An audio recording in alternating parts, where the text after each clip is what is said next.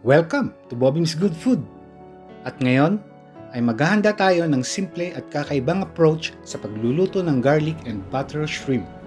Sasamantalayin ko na ito dahil fresh ang aking nabiling hipon sa market. You know, itsura pa lang.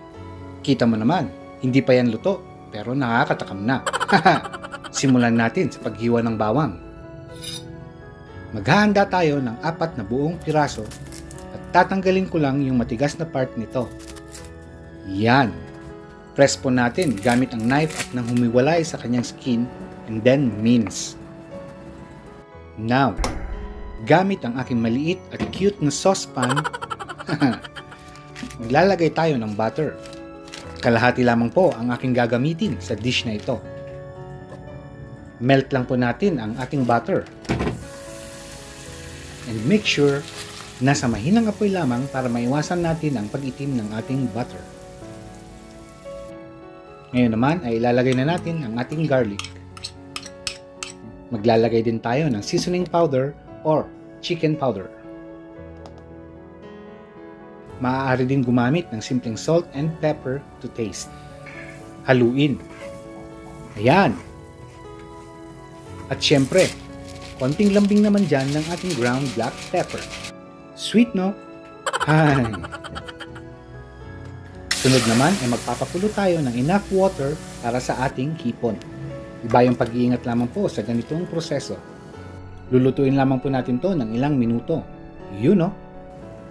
Maglagay lang ng konting mantika at asin upang magkaroon naman ng konting lasa ang ating hipon. Haluin. At para di masayang ang ating pinagpakuluan ng hipon, maaari nyo itong gawing soup. Lalo na sa ganitong panahong maulan. O di ba? Ilang minuto na ang nakalipas at eto, pwede na ang ating hipon. Ihiwalay lamang po natin sa stock at maaari nang iserve.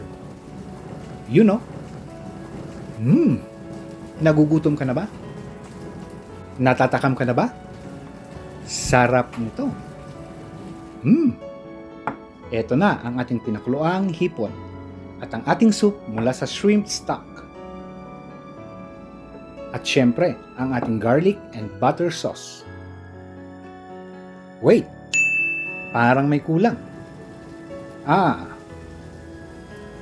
maglalagay tayo ng parsley or any greens available sa ating garlic and butter sauce. Maari din gumamit ng green onions for added taste and texture. You know, sarap! Haluin. At yan na, ready na ang ating dish for today. Banat na! Maraming salamat sa pagsubaybay. Kita-kits pa tayo para sa ating next recipe.